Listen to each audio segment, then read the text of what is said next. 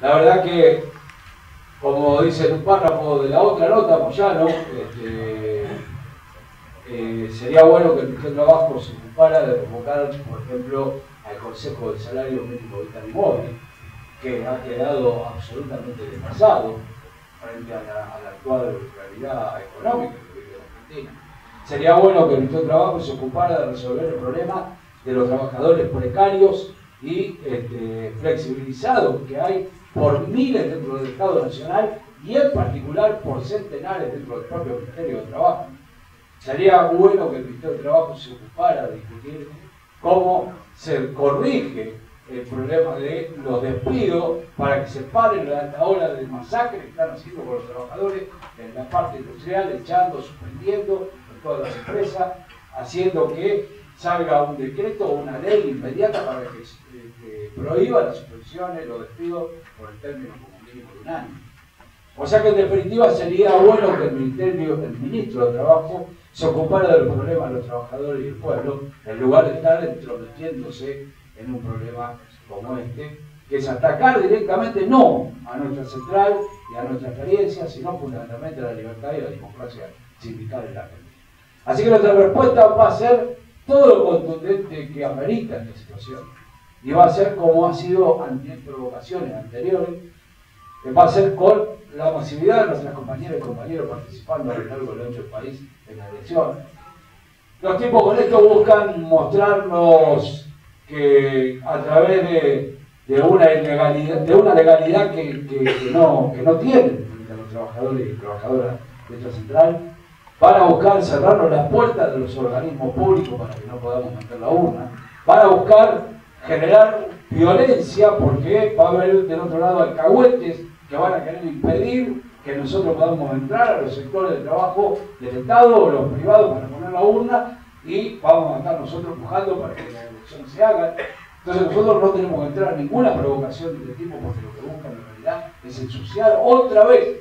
Ya lo tienen dentro de nuestro padrón para ensuciar al yaquismo y a todos los alcahuetes aplaudidores de la presidenta y de los grupos económicos, como ha sido en estos años, ese sector no lo tienen dentro del padrón de nuestro central. Entonces tenía que buscar la forma de volver a embarrar una experiencia que es una experiencia formidable, una experiencia que pensaron, crearon y llevaron a la práctica los compañeros fundadores de nuestra central, como Víctor, Víctor Mendivil, Víctor Regenaro, como este, Germán Rondala y tantos compañeros y compañeras que en aquel tiempo crearon nuestra central y decidieron que la conducción de nuestra central y todos los cargos de nuestra central se fijan por voto directo secreto. Una experiencia avanzada no solo en la Argentina, sino en el mundo, y sin embargo, bueno, el poder no puede permitir que esto se desarrolle. Tiene que evitarlo de cualquier manera. Y bueno, acá está la muestra de, este, uno dice, pero ¿cómo tienen tanta ausencia de sentido común? ¿Cómo lo van a hacer 48 horas antes de las elecciones? Bueno, en realidad todo está pensado premeditadamente para hacernos daño, pero no a nosotros. Si fuera a nosotros nada más, tal vez no sería tan preocupante. Hacerle daño a la democracia, hacerle daño a la experiencia de participación democrática plural, combativa, clasista, hacerla pelota para que no pueda avanzar en la Argentina para que todos aprendan que quien quiera construir una herramienta autónoma de todos los partidos, de todos los gobiernos, de todos los grupos económicos, en este país, estos tipos no quieren. Porque en este sistema no se puede. Bueno, nosotros queremos demostrar que se puede, que vamos por construir esta herramienta, fortalecerla y, hacer que se transforme en una herramienta de masa a disposición de la liberación de nuestro país, a disposición de todas este, las reivindicaciones que necesitan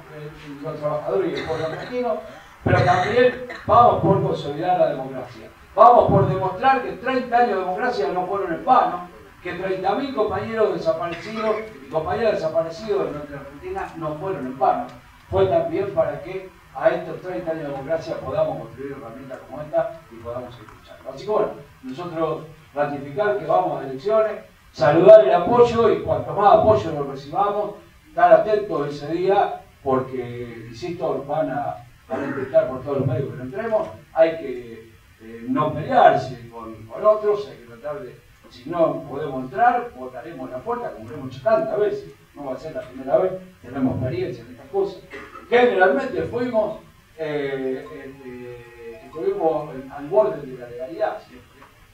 en, nuestra organización y eso no ha impedido que tengamos padrón de un millón de. Así todo, tenemos padrón de un millón. Así todo, Fito fue electo a la Confederación Sindical Internacional como de esta convención del sindicalismo